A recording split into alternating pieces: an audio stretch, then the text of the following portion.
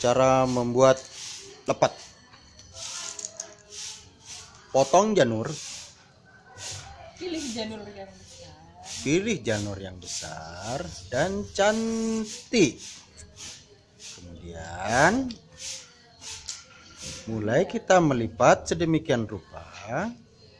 Langkah pertama lipat jadi dua tumpangkan bawahnya dan staples. Jar be kalau dulu harus pakai ujung. Pakai lidi. Karena sekarang cuman begini aja. Nah langkah selanjutnya. Ser kelihatan.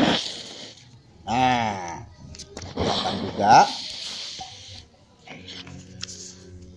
Nah ntar langkah selanjutnya. Nah ini tinggal diputar aja. Diputar. Sampai membentuk memanjang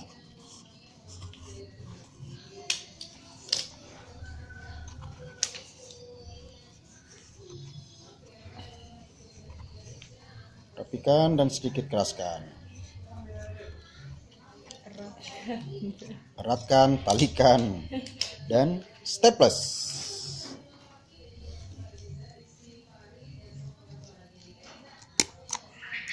Oke, Tara sudah jadi.